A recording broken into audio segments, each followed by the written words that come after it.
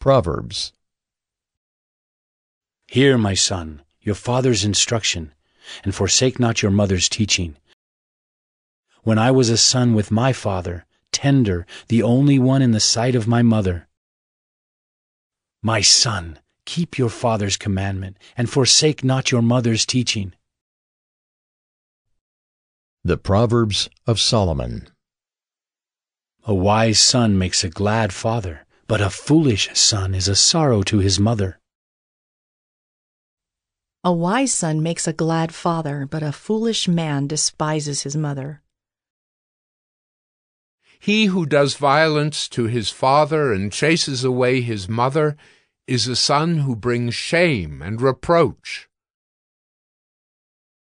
If one curses his father or his mother, his lamp will be put out in utter darkness. Listen to your father who gave you life, and do not despise your mother when she is old. Let your father and mother be glad. Let her who bore you rejoice. Whoever robs his father or his mother and says, That is no transgression, is a companion to a man who destroys. The rod and reproof give wisdom, but a child left to himself brings shame to his mother.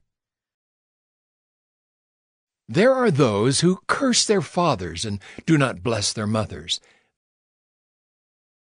The eye that mocks a father and scorns to obey a mother will be picked out by the ravens of the valley and eaten by the vultures.